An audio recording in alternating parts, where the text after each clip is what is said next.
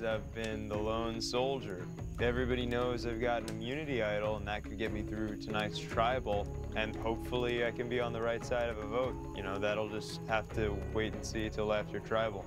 Heather, where do you feel you sit in the game right now? I feel I'm at the bottom. You too. Yeah, I'm not making the big decisions, you know, but I'm okay with that right now. Erika, you start getting down to these numbers. Suddenly, people on the bottom start to look up and go, we can make a move. I would consider myself in the bottom half for sure. I think that maybe there's something that we can do with the people at the bottom, but I think it's whether you're part of the planning or if the plan is told to you. Or sometimes you don't get the plan at all. Shan, that's interesting because that can backfire if you're one of the ones that are making the decisions because suddenly they start looking, well, you know what?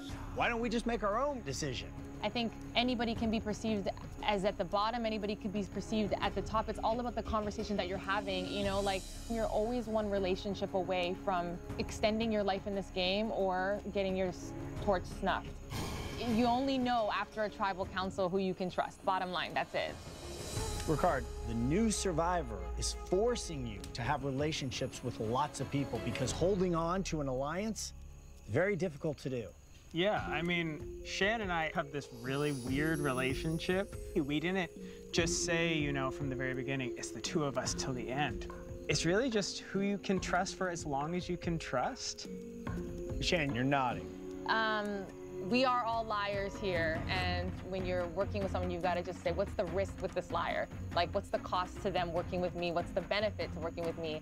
Um, but lies can get messy. Like, if you tell a lie, then you have to cover that lie with something else or something else. At the same time, when you find a good group of people, at least you can tell the truth to the people that you're working with.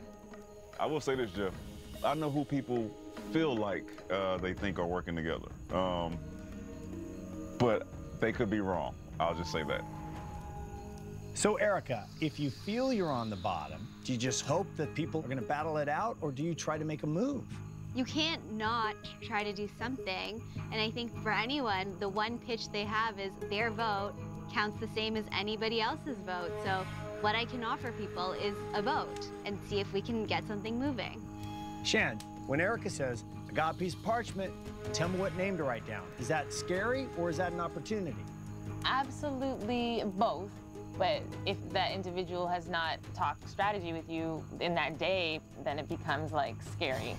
Are you referring to Erika in that situation? I mean, I, I, I maybe, but I, have worked with Erika, and she's a trustworthy person. Oh, so yeah, yeah, I mean, like we didn't get the chance to talk today, but Shan and I have worked together. We we pulled off the Naseer blind side together, so there. I, I hope there's like some level of trust between us. For sure, yeah. Ricard, are there ever conversations where they go, look, there's still some people on the bottom. Let's just get them. Logically, you would think that's how it is at camp, but most of what's going on is perception of oneself. So Erika feels very insecure and on the bottom. And then he has an idol, which is so public that now he feels on the bottom and like, it's just all our perception of ourselves.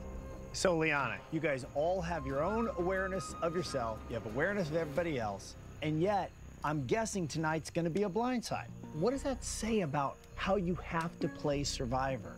Yeah, Jeff, I'm a student and I've studied very complex things and when I'm playing this game, I feel like my mind is like spinning around and around and around and around. And so right now, everyone thinks they have an idea of what's going on, but one of us is wrong and that's gonna show up tonight. And so that's why this game is absolutely insane and incredible and just chaotic at the same time.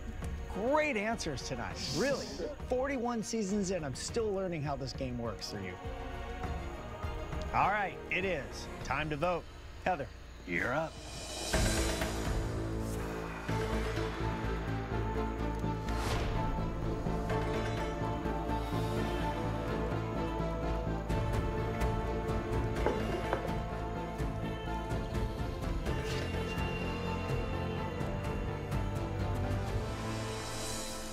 I'll go tally the votes.